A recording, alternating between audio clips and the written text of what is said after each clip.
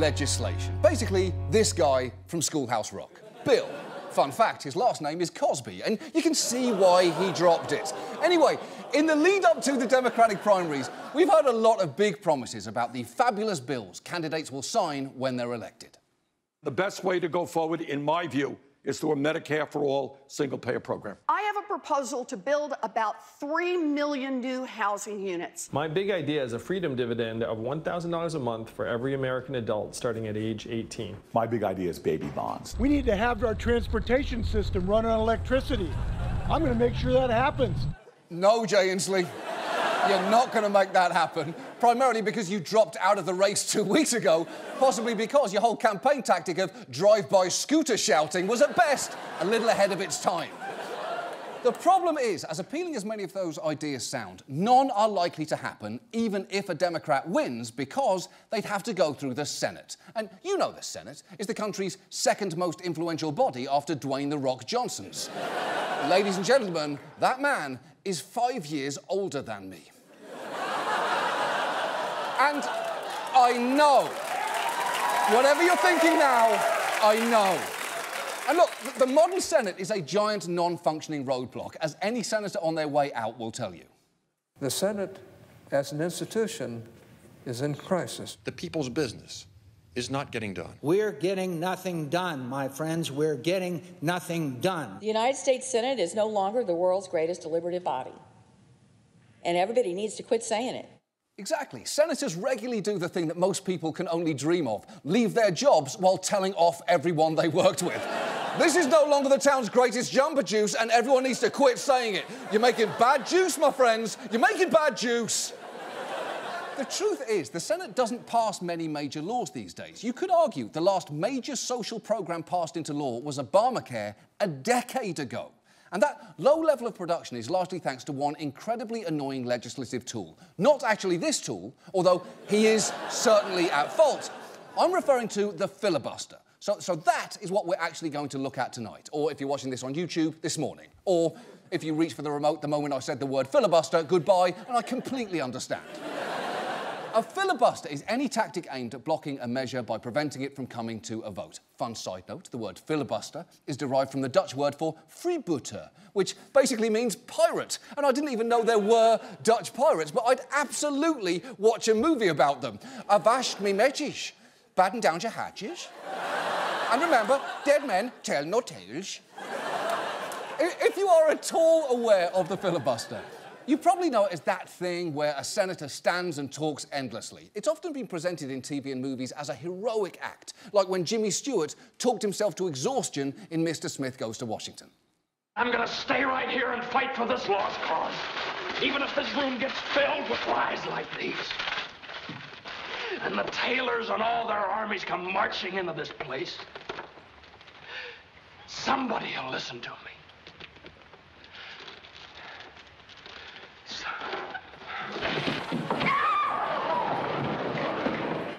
He was a bad actor. I mean, they, they, they, were all pretty bad back then, but he was especially bad. The, the thing is, the thing is, that movie made the filibuster seem like a good idea. Just like how The Wizard of Oz made going on a trip with a furry, a vagrant, and an axe wielding robot seem like a good idea, but in real life, it's only a good idea if you know them. But the modern filibuster is nothing like the Jimmy Stewart version. It's become an overused tool of obstruction, and in practical terms, it essentially means that a simple majority of 51 votes isn't nearly enough to pass legislation. If you don't get 60 votes for a bill, it's dead. Which means theoretically, senators from the 21 least populated states, representing just 11% of Americans, could overrule everyone else, which seems pretty extreme. So, to quote everyone who's ever sat in a bathroom stall with a three inch gap in the door, why on earth was it designed this way? well, people, people often claim that it goes back to the founding of the country. It's an argument that runs like this. You may wonder why the Senate has this 60 vote rule when it's a straight majority rule in the House. Well, the answer is that the uh, founders meant it that way. The Senate was designed to be the cooling saucer uh, where the two parties were forced to work together, um, and hence that 60 vote threshold. Okay, so there's a few things to know about that, and the first thing is that it is not true. There is nothing about a 60 vote threshold for legislation in the Constitution, uh, nothing about it in the Federalist Papers, nothing in Jefferson's private letters, and nothing skillfully wrapped by Alexander Hamilton to the delight of everyone within earshot. In fact, some historians say the filibuster was created by mistake, and even then, the first one didn't take place until 1837, so it was categorically not part of the founder's original vision. It's like claiming the day Alexander Graham Bell invented the telephone, he also sent the first dick pic. No, no, he didn't. That development came much later, two weeks later. But, but she is actually right about that whole cooling saucer idea. That's a story that comes up constantly, and it goes like this. The Senate was created to be a cooling saucer to the hot legislation that comes from the House. It is the cooling saucer. We all know the story. The old metaphor George Washington used was the House is the cup of coffee where the coffee is very hot. The Senate is the saucer that you pour the coffee into so it can cool the passions of the House. Okay, first, never say cool like that ever again, ever. But setting aside the argument that the Senate should be more deliberative than the House, you might be wondering why on earth would someone pour coffee into a saucer? Well, in the 18th century, people apparently did exactly that. They would pour coffee out of their cup into a saucer to let it cool and then drink it directly from that which is clearly ridiculous, and it's honestly something I wish I'd never learned, because Thomas Jefferson seems like a towering historical figure until you imagine him sipping out of a saucer like a fucking cat. But, but it is true that the founders wanted the Senate to be a counterweight to the House. They achieved that, though, by having fewer members who serve longer terms, six years, not two, and until 1913, not having them directly elected by the people. So if keeping the filibuster is not following the founders' wishes, why do we still have it? Well, some argue that it preserves the Senate's ability to be a bastion of debate, as this senator explained in 1952. The Senate of the United States is the last open forum in the world where the rights of all minorities uh, can be fully and freely and completely debated. And uh, while uh, I would never and have never taken part in a filibuster, Neither would I take part in an effort which would, uh, which would result in depriving any minority group in this country from having their cause fully discussed and fully debated on the floor of the United States Senate. Okay, so first, the Senate's reputation as a haven of gentlemanly debate is at best overblown.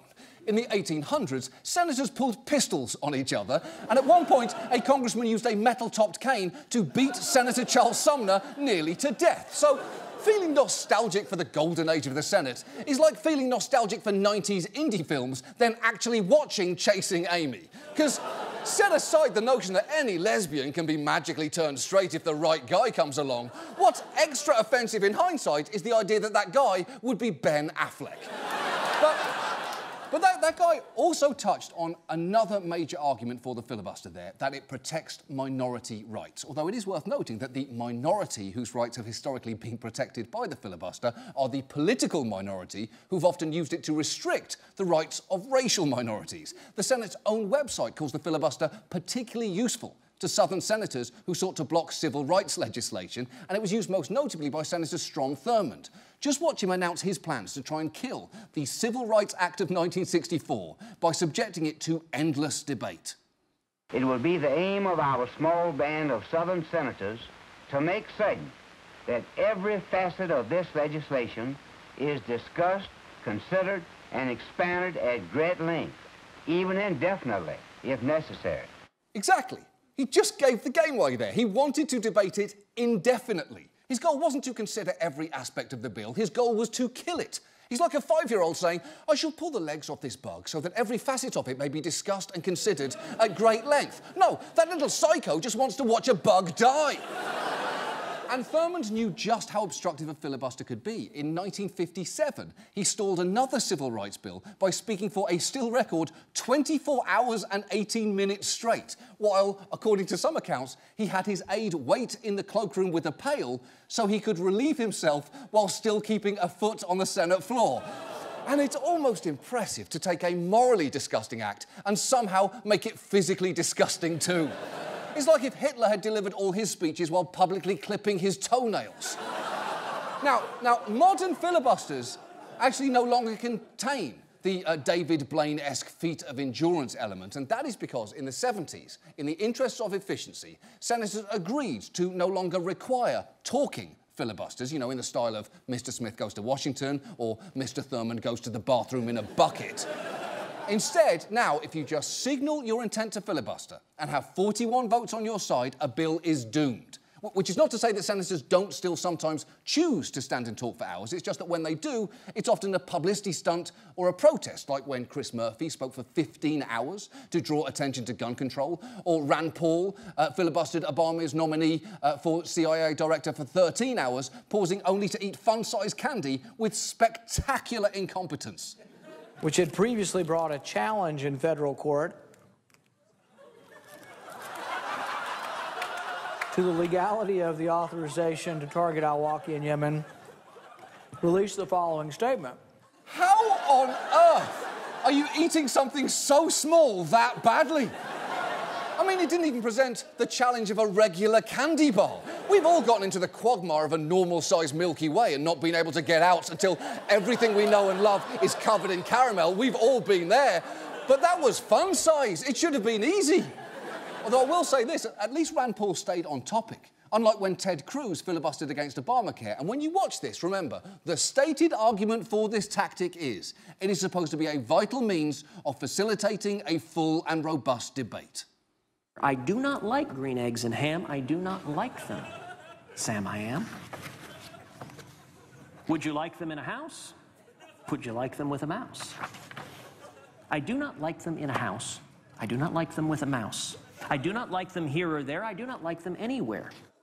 I do not like that man, Ted Cruz. I do not like his far right views. I do not like his stupid chin. I do not like his smarmy grin. I do not like him with a beard. I do not like him freshly sheared.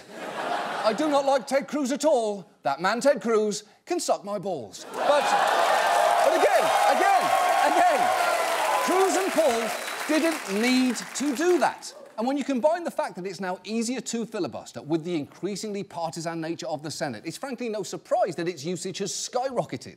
If you look at the number of cloture votes, which is a good way to measure filibuster use, the number during Eisenhower's term here was two. Whereas in Obama's eight years here, there were 506 which kind of undercuts the final argument made in favour of the filibuster that it encourages bipartisanship. That, that if you have to get 60 votes to end debate on a bill, the parties will just have to work together. But the reality there is that is simply not happening.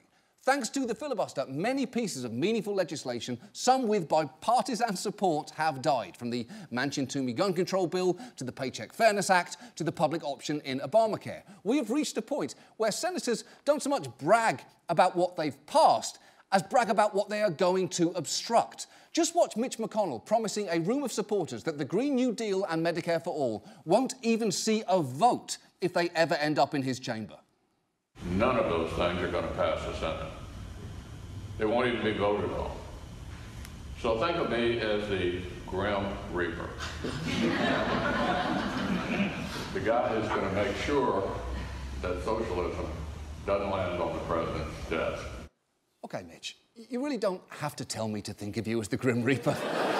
It's like if Donald Trump said, think of me as a bunch of trash bags from a Cracker Barrel dumpster brought to life by an ancient curse when a clown fucked a car alarm. I'm way ahead of you there, buddy. I already think of you that way.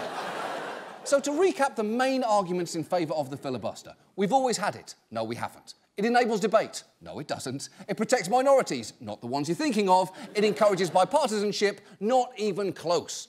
It has become so difficult to pass a law. The big issues of our day are now being handled by other branches of the government. Major issues, from immigration to climate change, are being decided through things like executive actions and court rulings. So, why keep the filibuster?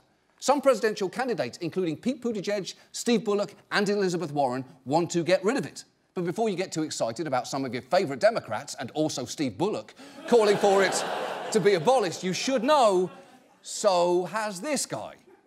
We have to get rid of what's called the filibuster rule. We have to.